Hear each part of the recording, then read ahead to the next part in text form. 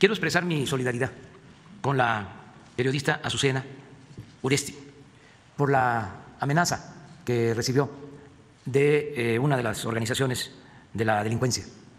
Quiero eh, decirle que cuenta con nosotros desde que me enteré de instrucciones para que se le atendiera.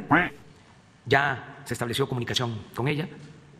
El subsecretario Alejandro Encinas la atendió y ya se estableció un mecanismo de protección. Repruebo completamente esas amenazas. No eh, admitimos que se actúe de esa forma. Y vamos a proteger a Azucena y vamos a proteger a todos los eh, mexicanos. Es nuestra responsabilidad la protección de los mexicanos, que no sean dañados, que no sean intimidados, que no sean amenazados por nadie.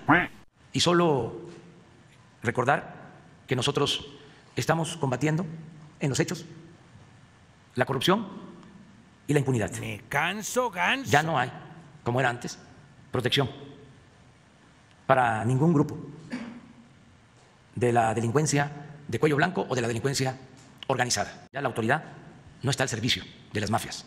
De modo que eh, reitero mi solidaridad a esta periodista, a Susana Uresti, y a todos los periodistas con la garantía de que siempre nuestro gobierno va a proteger a quienes llevan a cabo este oficio, quienes se dedican al noble oficio del periodismo, y a todos, dirigentes sociales, y a todos los ciudadanos.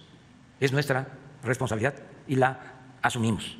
Eh, quería yo dejar de manifiesto este apoyo a esta periodista del periódico Milenio, de la radio y de la televisión y del periódico. Este, vamos a estar junto a ella, apoyándola, protegiéndola. No está sola.